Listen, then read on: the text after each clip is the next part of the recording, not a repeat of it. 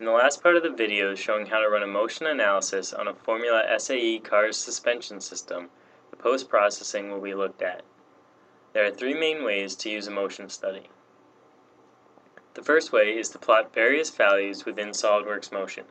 Select the XY plot icon at the top of the Motion Manager. Here, a number of categories and subcategories can be selected and plotted versus time or other results. To create a plot showing the displacement of the damper rod during the motion study, first select the main category of Displacement, Velocity, Acceleration. Choose Linear Displacement in the Y component. Select the face of the damper rod and choose the rest of the shock absorber to define the coordinate direction. Once the green check mark is selected, a graph will show the displacement of the rod. Another way to use the motion study is by using the motion data with SOLIDWORKS simulation.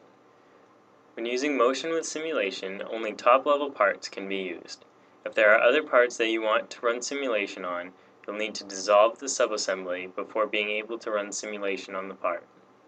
There are two different methods of exporting motion results to simulation. First, it is necessary to add in SOLIDWORKS Simulation by going under Tools, Add-ins, and selecting SOLIDWORKS Simulation. The first way to use SOLIDWORKS Simulation with Motion is by clicking the icon in the Motion Manager for Simulation Setup. Here you can select a top-level part that you wish to analyze. Then choose the time frame that you're interested in, which in this case is the time where the tire hits the hole.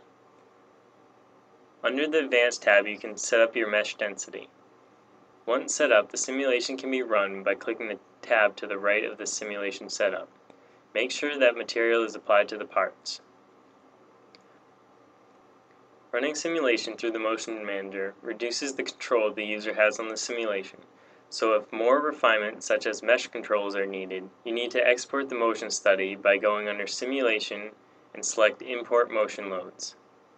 Select the motion study that you want to use as well as the part that you want to run simulation on. Choose either a single frame or multiple frames. In this case we'll look at frame 55, which is during the time the tire hits the hole. Click OK and then open the part that you selected. Choose the study that is created at the bottom of the SOLIDWORKS screen. Make sure to apply material and any other boundary conditions to the study. Once run, stresses, strains, and displacements, as well as many other parameters can be looked at. The final way to use the motion study is to optimize your model. Sensors need to be added first in order to create the goals of optimization. In the model, right-click the Sensors folder and select Add Sensor. There are a variety of different sensors that can be used in optimization. For this case, we'll look at reducing the displacement by changing the spring constant on the shock absorber. In the Sensor Property Manager, select Motion Data, Motion Study 2, and then the plot that corresponds to the linear displacement graph of the damper rod. Insert a new design study by going under Insert, Design Study, and then selecting Add. In the window that appears, click Add Variables.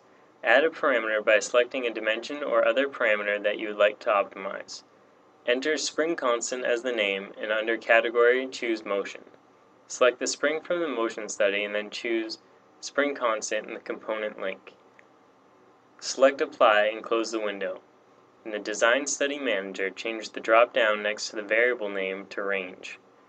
Enter the range for the spring constant, which in our case is from 20 to 40 newtons per millimeter. Under the Goals heading, select the Displacement 1 sensor and choose Minimize. Make sure Optimization is selected and then choose Run.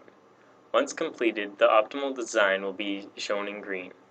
This new design can then be used to run another simulation study if desired. The design study can be used to optimize a vast number of different parameters and this is just a simple example to show how to go about setting it up.